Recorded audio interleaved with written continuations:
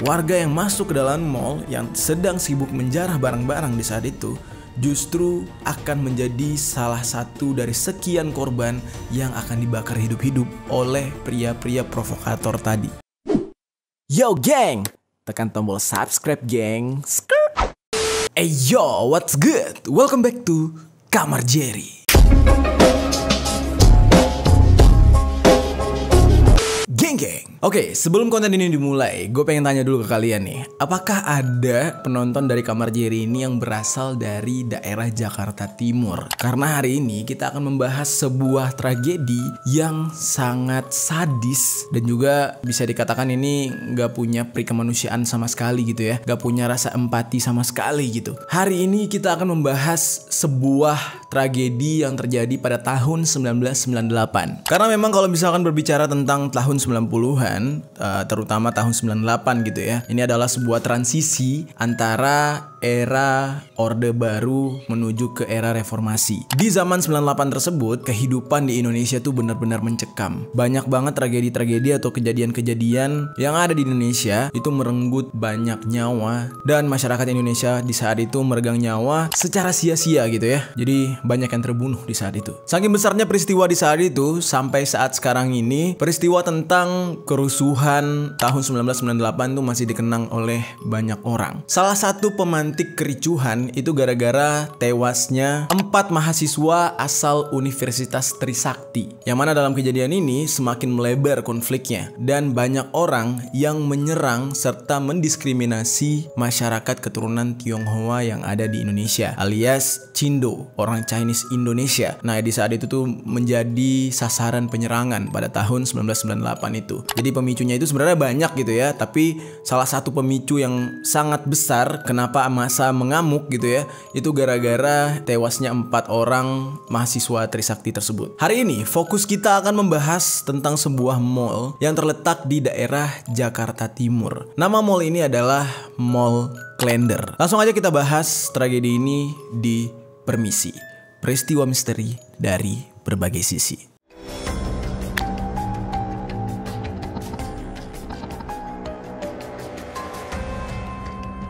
Nah, sebelumnya mungkin dari teman-teman di sini nggak tahu Mall Klender itu terletak di mana. Mall Klender ini terletak tepat di Jalan I Gusti Ngurah Rai, Duren Sawit, Jakarta Timur. Ada sebuah tragedi yang sangat mengerikan di dalam Mall Klender ini. Dulu pada tahun 1998 di saat kerusuhan, ada sekelompok orang yang sengaja mengunci para pengunjung serta para pegawai mall di dalam gedung tersebut. Lalu mereka membakar gedung tersebut beserta dengan orang-orang yang ada di dalamnya dan tewas hangus terbakar. Nah, sebelum kita bahas panjang lebar tentang tragedi ini, gue bakal ngejelasin dulu nih ya track record atau riwayat daripada Mall Klender ini. Nah, Mall Klender ini seperti yang gue katakan itu terletak di Jakarta Timur dan sempat berganti-ganti nama. Dulunya Mall Klender ini sempat berganti nama menjadi Central Klender Plaza. Lalu berganti lagi menjadi Citra Mall Klender dan sempat juga berganti menjadi Yogya Mall Klender. Di saat kerusuhan itu terjadi, Mall Klender ini bernama Yogya Mall Klender tersebut. Nah, kalau untuk saat ini sudah berganti nama menjadi City Plaza Klender. Dan mall ini benar-benar menjadi sebuah bangunan yang mana bangunan ini adalah saksi bisu kekejaman di era kerusuhan 1998. Oke, sekarang kita akan bercerita bagaimana kronologi di saat kerusuhan tersebut yang menewaskan banyak orang di Mall Klender ini. Di saat terjadinya kerusuhan Mei 1998, memang banyak pusat perbelanjaan atau mall-mall atau supermarket menjadi sasaran massa. Yang pertama, massa sengaja menyerang tempat ini agar bisa barang-barangnya dijarah. Ada juga yang sengaja membakar tempat tersebut karena mereka menganggap kalau tempat ini adalah tempat kapitalis. Karena di saat itu kan orang-orang sedang mengalami krisis moneter ya. Jadi ekonomi Indonesia sangat ambruk. Jadi orang-orang tuh sangat sensitif dengan kapitalisme atau orang-orang kaya kaya atau orang-orang yang hidupnya bermewah-mewahan gitu tuh paling anti di saat itu. Salah satu mall yang dibakar adalah Mall Klender ini, yang di mana di saat itu namanya adalah Yogya Mall Klender. Dulunya Mall Klender ini adalah salah satu mall yang sangat besar, ya bisa dikatakan terlengkap juga di Indonesia di saat itu. Karena di dalamnya sudah ada bioskop, pusat perbelanjaan, terus juga sudah ada permainan anak gitu ya, serta restoran-restoran mewah. Dalam langkah menggulingkan pemerintahan Orde Baru di saat itu, masyarakat Indonesia mengamuk mengamuk dan menghancurkan tempat ini dengan cara yang benar-benar sadis. Karena di saat itu orang-orang benar-benar melihat Mall Klender ini adalah sasaran empuk untuk dihancurkan. Penjarahan atau penghancuran Mall Klender ini itu terjadi tepatnya pada tanggal 15 Mei 1998. Menurut saksi mata yang ada di sana nih geng ya, cerita awalnya ini gara-gara ada provokator. Jadi provokatornya itu sekelompok pria atau sekelompok laki-laki yang berteriak-teriak menyuruh warga sekitar untuk masuk ke dalam mall Klender dan menjarah barang-barang di dalam mall tersebut. Ternyata nih geng, apa yang dilakukan oleh pria ini itu mendapatkan respon dari warga, ya warga terpancing di saat itu juga lagi krisis moneter karena ramai yang ikut-ikutan, akhirnya banyak warga yang mencoba untuk menjarah mall tersebut dan masuk ke dalam mall. Tanpa mereka sadari ternyata itu adalah jebakan justru. Warga yang masuk ke dalam mall yang sedang sibuk menjarah barang-barang di saat itu justru akan menjadi salah satu dari sekian korban yang akan dibakar hidup-hidup oleh pria-pria provokator tadi. Di saat penjarahan terjadi, ada juga beberapa kelompok orang yang sengaja datang untuk menjarah tempat itu, namun mereka tuh berkamuflase atau menyamar dengan menggunakan pakaian sekolah SMA. Aksi ini itu dimulai tepatnya pada jam 1 siang. Di saat itu, orang-orang sudah banyak yang berkumpul di depan Mall Klender dan para security di saat itu udah deg-degan menghadapi masa yang sangat sangat banyak. Setelah mereka berkumpul di depan mall kalender tersebut, tiba-tiba saja ada beberapa provokator yang berteriak-teriak memulai kerusuhan. Sampai akhirnya penjarahan pun dimulai. Penjarahan ini dimulai dengan melempari pertokoan yang ada di pinggiran mall kalender. Mereka melempar pertokoan tersebut menggunakan batu, memecahkan jendela-jendela pertokoan tersebut, lalu mengambil barang-barangnya. Sembari mereka menjarah, mereka itu sempat berteriak dan mengacungkan jari. Nah, di saat mereka berteriak, mereka mengatakan Jarah Yogya serbu ini punya Cina katanya. Jadi di saat itu rasisme sangat gila-gilaan. Apa pun alasan masyarakat di saat itu saat melakukan kerusuhan pasti targetnya karena orang Cina katanya. Dan sontak aja, warga sekitar atau tetangga-tetangga yang ada di sekitar Mall Klender itu berhamburan keluar, baik ibu-ibu, bapak-bapak, nenek-nenek bahkan. Yang mana di saat itu memang kalau dilihat warga di sekitar itu adalah warga dengan ekonomi menengah ke bawah. Di saat mereka melihat banyak orang yang menjarah Mall Klender tersebut, mereka pun ikut-ikutan masuk ke dalam mall itu untuk menjarah. Di saat itu ada beberapa warga yang mencoba untuk melerai atau mencegah penjarahan dan beberapa warga juga juga mencoba menghentikan kerusuhan, namun sayangnya itu tidak berhasil. Ada sesuatu yang aneh di saat kejadian itu di mana pihak aparat kepolisian serta pihak tentara gitu ya itu tidak terlihat lagi di sekitar lokasi. Jadi mungkin warganya udah terlalu banyak tidak bisa ditampung. Nah, makanya aparat kepolisian akhirnya pergi dari tempat itu karena ya takut menjadi korban juga. Sementara itu di pelataran atau di sekitar mall tersebut sudah bisa terlihat adanya beberapa orang yang membawa truk, membawa gerobak gitu ya. Yang di mana mereka mengisi truk dan gerobak tersebut dengan barang-barang jarahan. Isinya ada TV, kulkas, pakaian, segala macam lah yang ada di dalam mall tersebut. Lalu tiba-tiba tidak lama berselang saat kejadian kerusuhan tersebut, ada sebuah mobil pick up warna merah yang datang dari arah Pondok Kopi. Nah kalau kalian pernah ke daerah Mall Klender ini, daerah Pondok Kopi tuh kalau misalkan kita hadap ke Mall Klender itu dari arah sebelah kanan gitu ya. Jadi mereka datang langsung berhenti di depan mall, membawa pria-pria berbadan tegap gitu ya, kayak apa ya, kayak anggota lah gitu. Dan sebagiannya itu ciri-cirinya berambut cepak dan berambut gondrong. Mereka turun dari mobil tersebut menuju ke Mall Klender yang sedang terjadi kerusuhan itu. Nah, terlihat oleh warga, sebagian dari pria-pria ini membawa jerigen bensin atau jerigen minyak dan salah satu dari mereka memegang HT atau handy talkie. Kalian tahu ya yang biasa dipakai oleh uh, apa Intel-Intel tukang bakso tuh. Nah, mereka tuh ada handy talkie. Salah satunya membawa alat tersebut. Lalu tidak lama kemudian, mereka menuju ke bagian tengah Mall Klender tersebut. Terlihat di bagian tengah mall itu sudah ada pakaian serta serta barang-barang menumpuk. Itu adalah barang-barang penjarahan gitu ya. Jadi ada salah satu orang mungkin yang menjarah barang tersebut lalu menumpukan di tengah. Baru nanti akhirnya diambil gitu. Nah ternyata di tumpukan itulah pria yang membawa bensin tadi menyiramkan bensinnya. Terus mereka menuju ke toko penjualan kasur yang ada di mall. Kalian pernah lihat pasti ya. Biasanya toko-toko penjualan kasur itu adanya di lantai dasar. Kasur-kasur tersebut juga disiram menggunakan bensin oleh pria-pria berbadan tegap ini. Banyak orang yang mengatakan menambahkan jangan bakar. Lah itu kan lumayan gitu ya kalau diambil gitu barang-barang jarahan ini daripada harus dibakar. Nah ternyata karena memang mereka ini besar-besar, mereka justru mengancam balik warga yang memperingatkan mereka untuk tidak membakar barang-barang tersebut. Nah sontak aja warga di saat itu merasa ketakutan gitu ya. Akhirnya mereka benar-benar membakar mall tersebut dan aksi pembakaran ini terjadi di lantai dasar yang menyebabkan banyak orang yang di lantai 2, lantai 3 dan lantai seterusnya yang ada di atas itu terjebak tidak bisa turun. Karena kenapa? Api sudah melahap keseluruhan bagian lantai dasar. Itulah jebakan yang diciptakan oleh orang-orang ini. Nah, akhirnya orang-orang ini berbondong-bondong seperti segerombolan tikus yang mencari lubang untuk melarikan diri. Jadi benar-benar kejam di saat itu, geng. Orang-orang mencari jalan atau pintu keluar, namun sayangnya semuanya sudah di dalam api. Mereka berada di lantai atas. Ada yang akhirnya memilih untuk melompat dari jendela dan tewas seketika. Ada juga yang patah kaki, patah tulang segala macam. Ketika api sudah mulai menyambar keseluruhan lantai dasar gedung, akhirnya kepulan asap pun memenuhi seisi gedung. Dan di saat itu kondisinya Mall Klender ini tidak sedang beroperasi atau tidak sedang buka. Dan di saat itu kondisi Mall Klender ini sedang padam listrik. Jadi listriknya dipadamkan karena mungkin mereka tahu akan ada demo jadi mallnya ditutup di saat itu. Hal inilah yang menyebabkan orang-orang meraba-raba dalam keadaan batuk-batuk, kepanasan dikarenakan asap yang mengepul, serta di lantai dasar yang sudah dipenuhi oleh api. Lalu, banyak yang akhirnya sesak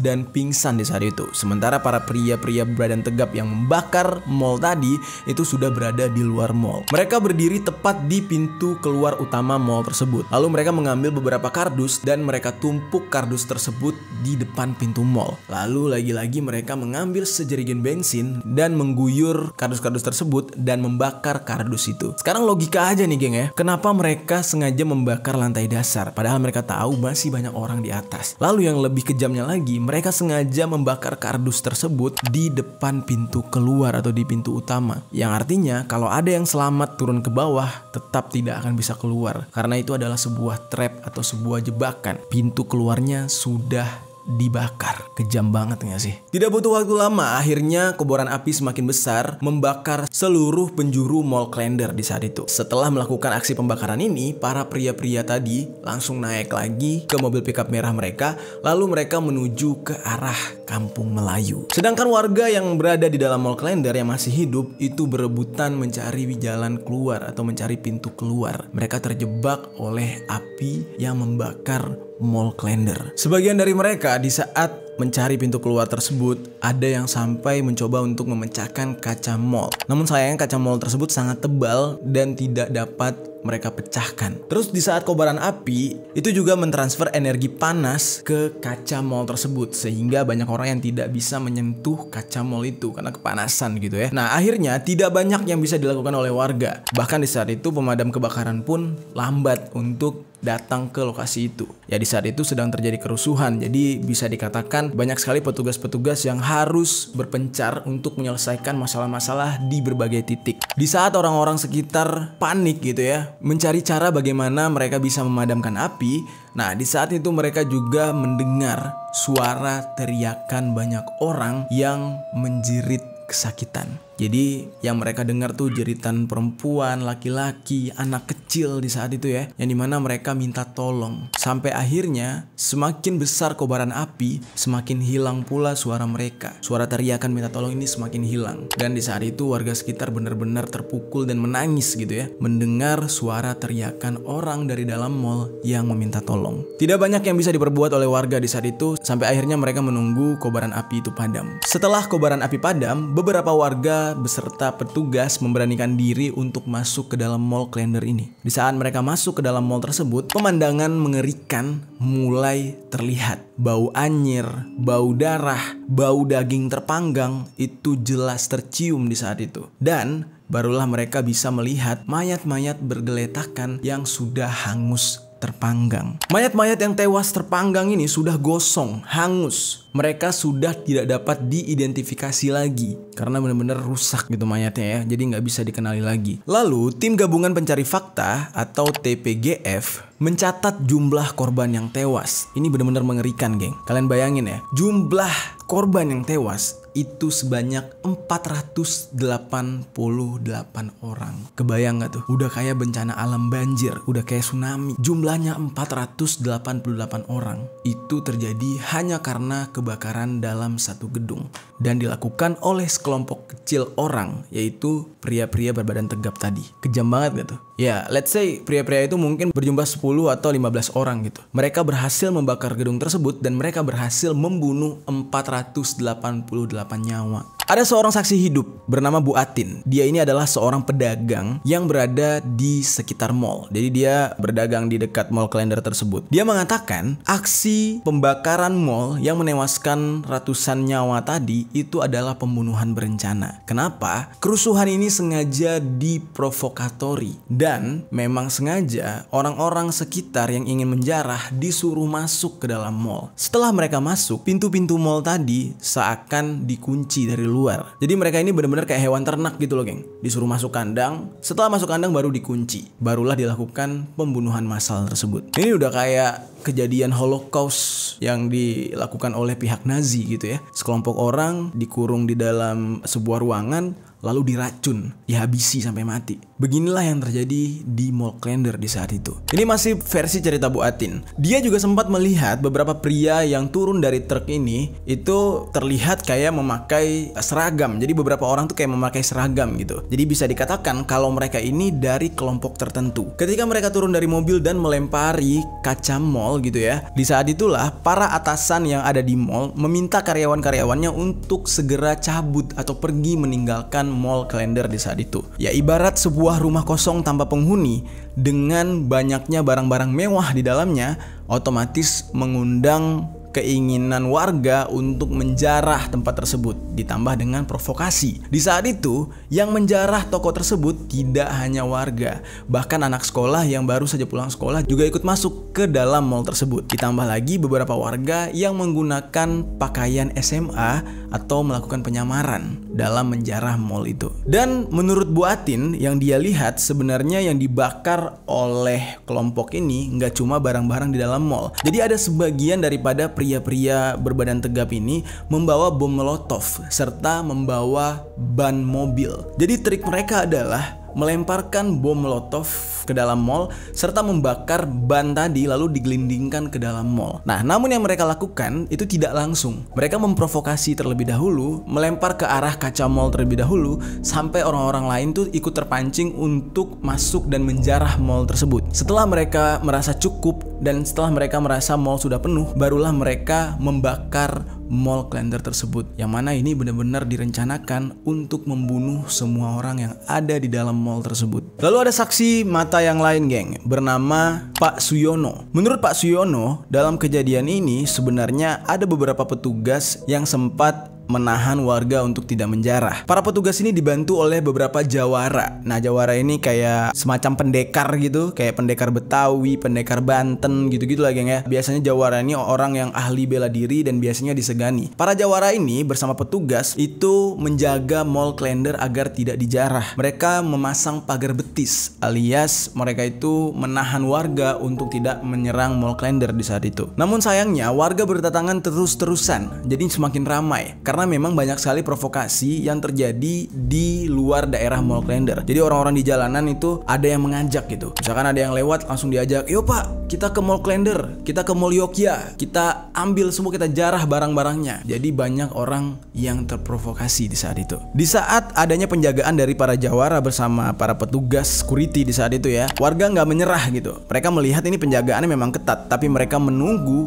di mana waktu yang sangat lengah atau di saat orang-orang yang menjaga ini mulai kelelahan. Dan puncaknya itu gara-gara mendengar suara tembakan. Namun tidak ada yang tahu dari mana asal suara tembakan tersebut. Dan lagi-lagi Pak Suyono ini membenarkan ada pria-pria berbadan tegap di lokasi kerusuhan itu. Dan di mana pria-pria inilah yang mengontrol warga atau para penjara untuk masuk ke dalam mall. Salah satu dari pria yang berbadan tegap ini berteriak masuk. Jadi dia kayak memprovokasi gitu. Di saat orang-orang bersiap untuk masuk, dialah yang memberi aba-aba untuk masuk. Akhirnya semua orang menjebol pagar betis petugas dan para jawara tadi sehingga bisa masuk ke dalam mall. Dan para petugas berteriak, "Silahkan ambil, silahkan jarah," katanya. Tapi tolong jangan dihancurin, jangan dibakar. Dalam kondisi itu, penjarahan terjadi kurang lebih selama satu jam dan penerangan mall itu minim di saat itu. Dikarenakan memang ya seperti yang gue katakan tadi, para atasan meminta karyawannya untuk pulang dan mall ditutup. Para penjara agak kewalahan memilih barang-barang. Ada yang sampai naik ke lantai-lantai atas. Nah, di saat itulah mereka akan menjadi korban di dalam jebakan api.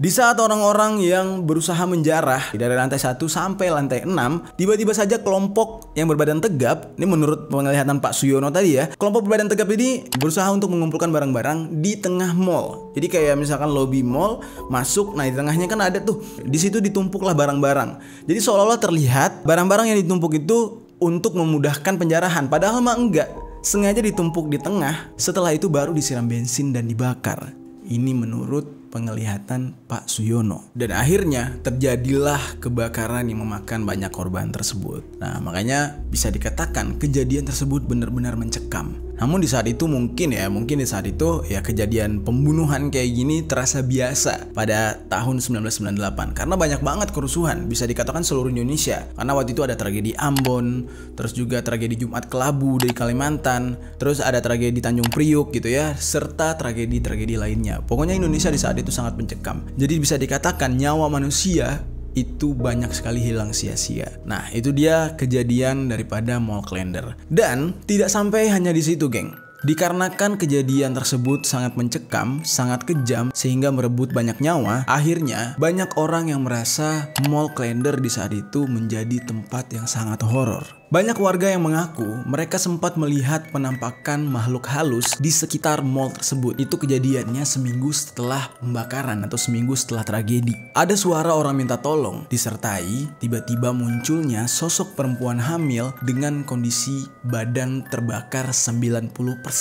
Jadi itu kayak badannya hangus, daging-dagingnya keluar gitu, geng. Terus nggak cuma sampai di situ. Di sekitar mall ini, zaman dulu tuh masih ada baja yang mangkal. Ada salah satu tukang baja yang mengalami kejadian mistis yang bikin merinding. Di mana dia menerima seorang penumpang. Di saat itu, si penumpang ini meminta diantarkan ke mall Klender. Nah, sementara itu, si supir baja ini adalah supir baru di daerah itu. Dia tidak tahu kalau mall Klender ini sudah ditutup karena terbakar. Entah bagaimana gitu ya, tiba-tiba dia diminta untuk mengantar seorang penumpang ke Mall Klender. Sesampai di Mall Klender, si penumpang ini bilang, Pak boleh temani saya nggak? Ke mana? Saya mau diantar ke lantai 6. Si si bapak mau ajarkan gitu ya, oh mau minta diantar karena takut, karena udah malam. Oh ya udah saya antar katanya. Dan dia menemani si penumpang ini sampai ke lantai 6. Sontak aja nih geng ya, sesampai di lantai 6, si supir tadi kaget. Si orang yang diantar hilang dan kondisi mall tersebut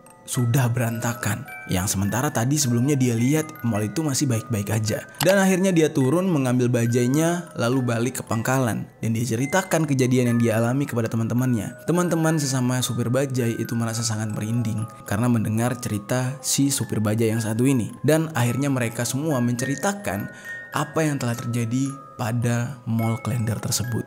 Gila. Nah, keangkeran daripada mall kalender ini sudah menjadi rahasia umum.